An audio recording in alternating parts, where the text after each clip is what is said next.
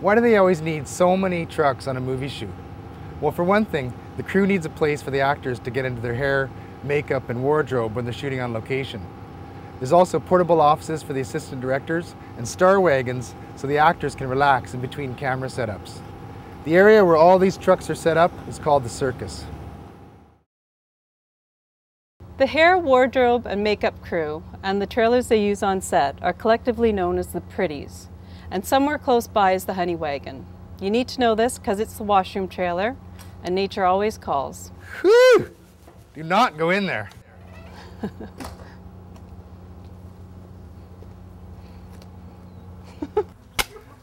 this is called a clapper, a slate, or sticks, depending on who you ask. You notice the camera people are always clapping this contraption together just before they do a shot.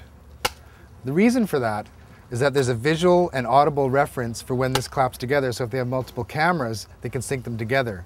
It's also for the editors to know which scene and take it is when they're editing the film.